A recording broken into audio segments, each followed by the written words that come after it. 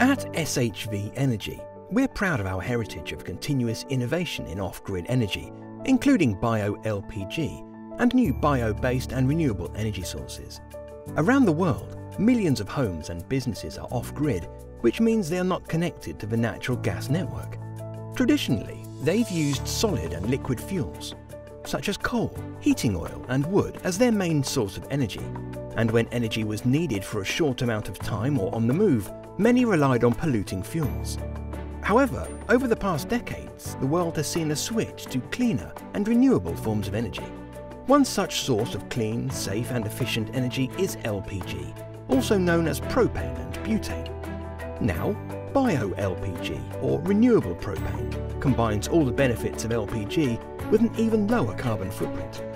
Bio-LPG is currently a byproduct of renewable diesel production, made from a range of waste and residues, as well as sustainable vegetable oils.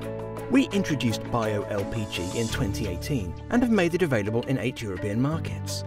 We're committed to continue growing our supply of biofuels and other low-carbon alternatives. In order to do so, we are continuously looking for new sources of bio-LPG and building partnerships with suppliers that have strong sustainability credentials. We actively support investment in new production facilities and push the boundaries of new applications.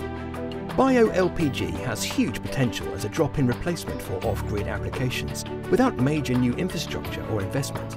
This is why we champion novel ways to convert waste, as well as bio-based and renewable feedstock into energy. And we're exploring innovative solutions for our customers, including using bio-based feedstock to produce renewable fuels, including renewable dimethyl ether or RDME and hydrogen.